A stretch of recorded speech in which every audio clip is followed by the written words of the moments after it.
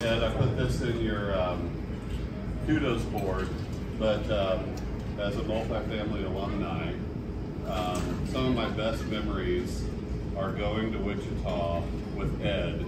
They're also my most terrifying memories. I did update my will and my estate planning before we went because we were in properties doing a knock and talk without flak jackets or guns. Um, but me a lot, and Ed was right there with us. He, as a director, he could have stayed back and just sent more people, but he was right there on the ground the entire time doing the exact same thing we were doing, and from that moment on, he earned my utmost respect.